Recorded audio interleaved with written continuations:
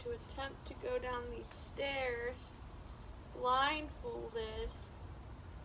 See if I can do it.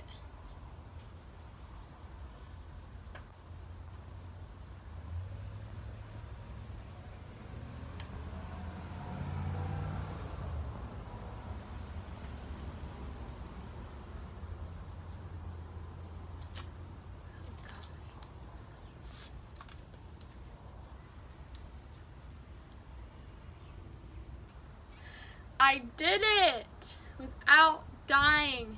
Yes. Good morning, boarders. It is so good to see you. Even though I can't see you, I can't really see anything right now. But it's very exciting to know that you are there. Anyways, I'm excited for our lesson today. We're going to learn about faith, we're going to learn about Jesus, and we're just going to have an overall good time. But before we get started, let's worship so much better. I can see now. Things are gonna run a lot smoother now that I have my eyeballs back and my eyesight. So with that being said, let's get started. This song that I chose is called Give Me Faith. It's probably a song that most of you might know. Some of you might know it. It's a little on the slower side, but I chose it because it talks about us asking God for faith. It says, give me faith, give me trust in what you say, um, because you're good and your love is great. And it, it continues to talk about, Lord, Lord, I need you. I need you to soften my heart and to break me apart, to open my eyes to see you.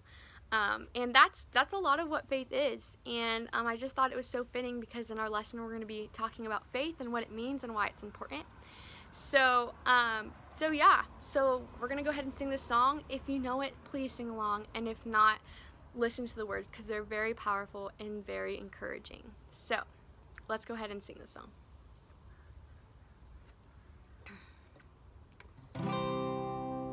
I need you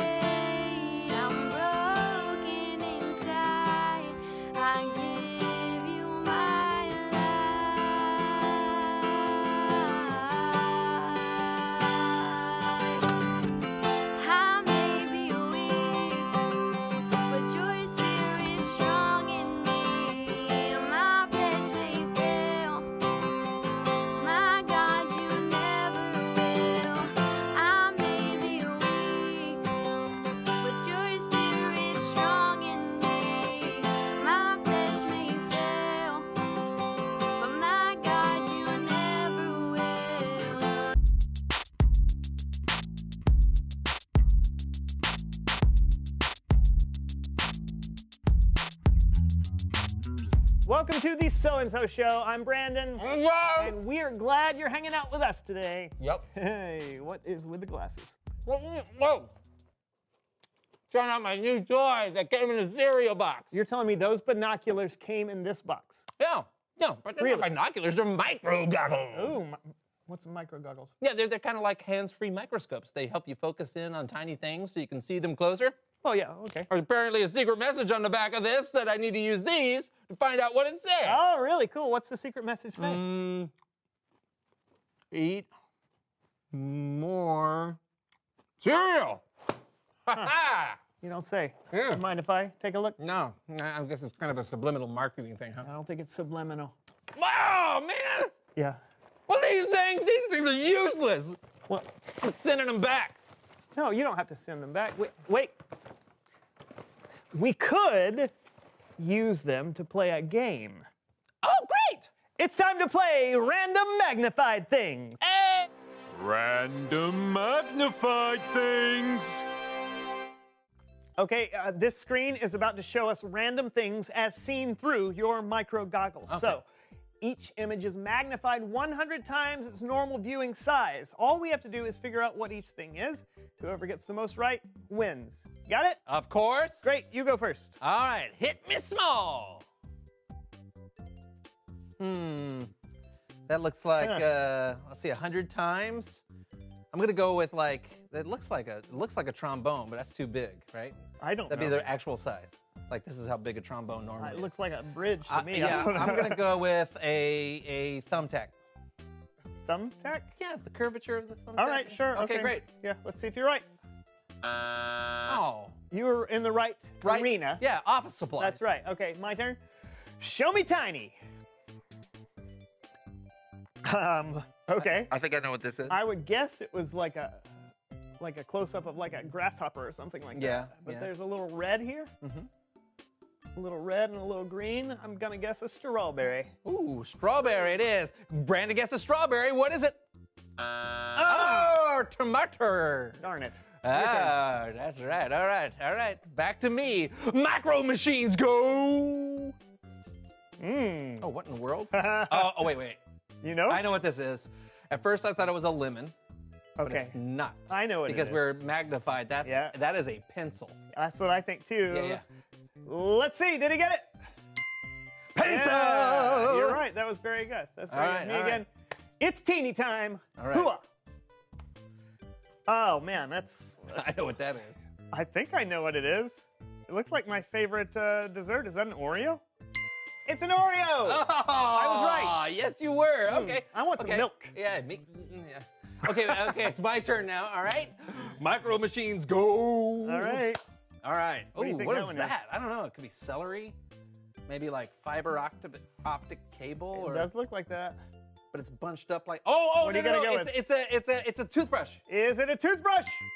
You Oh, betcha! Well the done. Well done. Okay, I got right, your another turn, your one. Uh, minutia, hit me. Oh man, Oh. is that ooh. more fruit? It I don't know. like. It looks like cracks in something. oh, that is interesting. Like, uh, oh my goodness. I uh, almost looks like a nose. It does. Man, that is really hard. I'm going to say it's a uh, it's a, it's a bowling ball. I don't know. I got A nothing. bowling ball. Yeah, I can't. I don't Okay, know is it a bowling ball? oh, it's a Oh. bottle cap. Oh, I see. Great, great. Wow. I don't think we can afford that image. No, but I don't think so either. hey, okay, let's move Okay, quickly. uh, there's one more. this round is worth a million points. Is it? Why did we bother with all the other rounds? We're both playing on this one, so the Okay. first person to correctly identify the image wins. Are you ready? Yeah, you're killing me, Smalls. All right, go ahead and hit. Mm, uh, uh, it's Uh, it's uh, fool's uh, gold. No, no, Uh, no, no, no. It's it, uh, cornbread. Cornbread. Corn, corn, no, it's the uh, it's Uh, the inside of an orange. It's no, I no, know it's I'm not. very good with. Shush. Okay, why It's shush? because I don't want you to win. It's Okay. it's a rock candy. Rock It's- candy, that's good. It's it's the inside of a a, a bee, honey, A honeycomb? hive, honeycomb. Um, it's a sponge. It's a sponge. It's a It's not a sponge. Oh, this is Oh. going to take forever. Uh, is it is it uh, the, the cereal honeycomb? ooh. No, Is it a cereal? No. Cereal. Ce- it is cereal. It is. It's frosted flake. I don't know who got won. that I one. Really, know. I said cereal. You said a cereal. We'll do 500,000 each. Okay, great. Okay, so I great. win. Yeah. It's Bible story time with Kellen.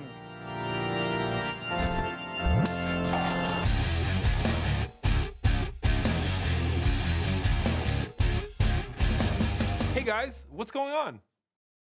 Why do you have binoculars on your face? They're not binoculars. Don't ask. Uh, Do you have something for us? Well, I do.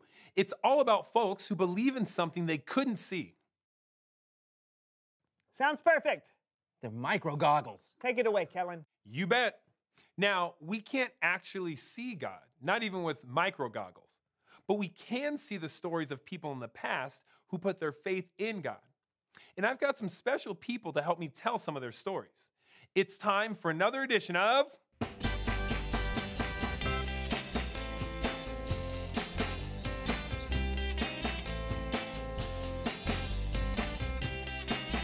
Kid Perspective!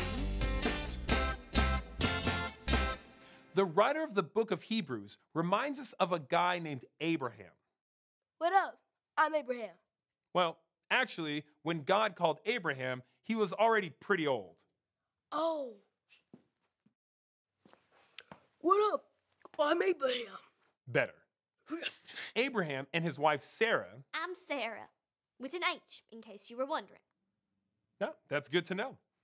Even though they were old, they didn't have any kids. We ain't got no kids. But God told us to leave our home and go to a new land. He's promised us. Plus, He told us we would have kids. He promised. Look at us. We're old. We're like uh, cassette players or rotary phones. Didn't you hear what I said? I said He promised. Oh, then let's go. So they followed God and they had kids and grandkids and great grandkids. We got kids now. Yeah, we do. Yes, they did, just like God promised. God also promised Abraham that the whole world would be blessed because of Abraham's family. Abraham would not be alive to see the whole world being blessed, but he had faith that God would keep his promise. And now let's talk about one of Abraham's great, great, great, great, Why not just say descendants? yeah, that'd be easier. One of Abraham's descendants, Moses. Let my people go. Wait, before that, when Moses was a baby. Eh. Goo goo gaga. He was rescued by his mother, who hid him in a basket on the banks of the Nile River Wah! until he was found by Pharaoh's daughter. Oh, look at you, my sweet little Mama! baby. Yeah, so Moses was raised in the royal Egyptian family, even though he was actually an Israelite. The Israelites were slaves of the Egyptians. But one day, God spoke to Moses through a burning bush. I want you to bring the Israelites out of Egypt and into a land flowing with milk and honey. They are my people. As much as I love milk and honey, I'm not sure I'm the right guy for the job. I will be with you. All right then. Moses chose to stand with his own people, God's people, and he led them to freedom from slavery. Oh, you can do it now. Oh, let my people go. Beautiful. Thank you. The Israelites were free from slavery.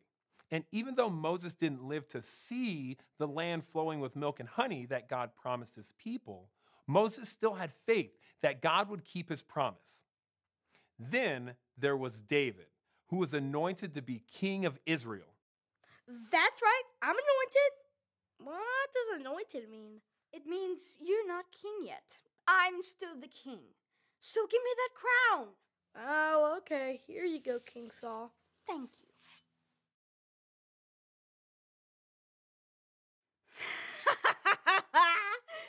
You're not getting this back.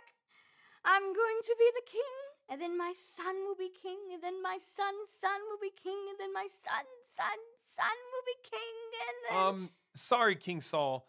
God promised David he would be the next king. He, he promised. Ah, man. Uh, thank you. David was the next king of Israel, like God promised. And God promised that David's family would always have a king on the throne. And even though King David would not live to see the birth of his descendant, who would rule God's people forever, David had faith that God would keep his promise. These people, they lived thousands of years ago, and they didn't always see what God promised them. But God could see things they couldn't see. And guess what? We can see things they couldn't see. We know the whole world was blessed through Abraham's family because one of Abraham's descendants was Jesus. We know that the Israelites made it into the land flowing with milk and honey. Yes! Uh, I mean, praise God. And we know Jesus is also a descendant of King David. And even though we can't see forever, we can have faith that Jesus will always rule like a king because that's what God promised.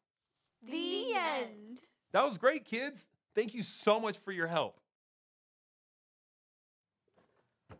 That is so cool, Kellen. You don't actually have to see something to believe in it. That's right, which means you don't have to wear these anymore.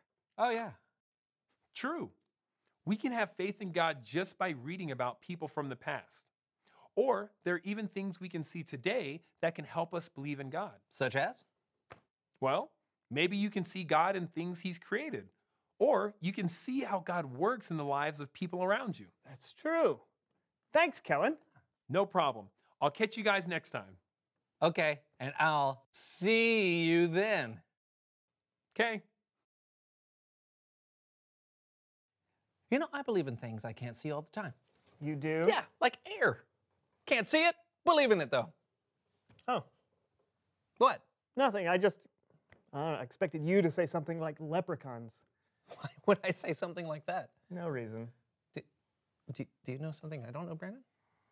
Wait, are leprechauns are leprechauns real? Are leprechauns real? Reveal the question.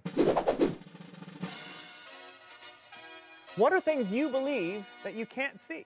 You got anything? I don't know. Maybe maybe leprechauns. Okay. What about you? What are things you believe that you can't see? Is it germs, uh, radio waves, or something else? Uh, talk about it together. Yeah, I gotta find one because they'll lead me to their pot of marshmallows or whatever. All right, there are no such thing as leprechauns. Yeah, yeah. What is it? don't What is it? There- there's blue diamonds, orange stars, green clovers, purple horseshoes. Okay, that was the so and so show, folks. Goodbye. And got to fade. Come here. What'd you guys think? I loved how they taught about faith, how you don't have to see to believe. We can have faith in God even though we can't see Him. Because faith is believing without seeing. And I loved how he said, he made a comment at the end. He said, faith is like air. And it reminded me that if you were to go to the beach and close your eyes, or even just now, if you close, if you went outside hopefully it's windy, and you close your eyes and there was wind, and then you can feel it on your face. But when you open your eyes, and even though you can still feel it, you can't really see it. It's the same thing with the Lord. Even though we can't see him, doesn't mean that he's not real. Doesn't mean that he's not being active in your life. Doesn't mean that he is not there in the midst of struggle. And it kind of also, another example it reminds me of is like those stairs in the beginning of the, the video. When I went down the stairs blindfolded. Even though I couldn't see, I knew that the stairs were going to be there. I knew I had this knowledge that it's there. And it's kind of like that same thing with faith. Even though I couldn't physically see the stairs, I knew that it was there. And that is faith. It's believing without seeing. And it's really important because even though we can't see God, we can know that He is there. And we can know that even in our deepest struggles, that when we have faith and when we trust in the Lord, He will be there no matter what to help you every step of the way. I'm going to go ahead and pray for you guys and then I'm going to wish you away. Lord, thank you so much for faith and that you've given it to us, this beautiful gift to trust you, um, to trust that you are with us, to trust that you are our strength and that you are going to um, give us promises, God, that you never break. And so, um, thank you for teaching us about faith and how we can use it and apply it in our lives. Um, we love you so much, and again, we are just so grateful for you and the tools that you give us, like faith. In Jesus' name, we all say amen. Have a happy Sunday, guys. I'll see you next week. Bye-bye. A few more things that we want you to know about. We have a great opportunity to serve our friends in nursing homes. They have been feeling lonely and sad lately, and your art would really brighten their day. Mail it to the church or drop it by the front office. We will be promoting the weekend of June 6th and 7th. More info to come, so be on the lookout. Do you have a prayer request? We are praying for our Twin Lakes kids' families. If there are any specific prayer requests you have, head to tlc.org/kids to send us yours. Every Friday on Facebook and Instagram is Funny Friday. That means we need your best jokes. Head to our website to submit your funniest jokes to have them featured on Funny Friday. We have something new for you every day at Twin Lakes Kids on Instagram and Facebook. We have daily devos, worship song of the day, and then something fun and themed every other day of the week. Don't miss out, so follow us on Facebook and Instagram.